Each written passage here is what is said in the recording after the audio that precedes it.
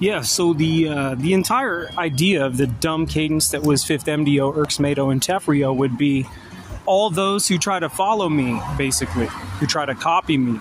They'll try to stack, stack, and stack until it sounds like fucking dumb and corny, like that cadence, which is why I ditched it at the last minute and said, nah.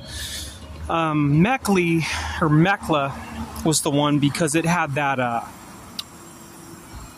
a multiple pronoun thing going on. The or the uh, um, you know uh, a four-sided cadence.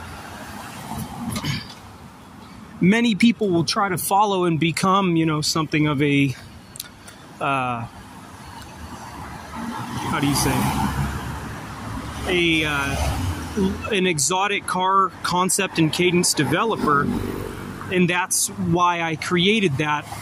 I mean, in hindsight, like it was kind of like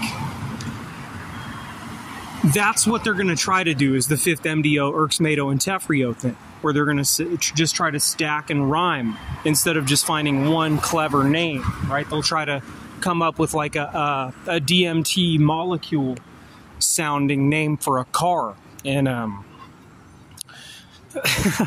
that's uh, kind of why what that became. I, I kind of just stacked myself too high on that one and realized that, yeah, that goofy, spectacular, like corny, dumb shit is all that will follow.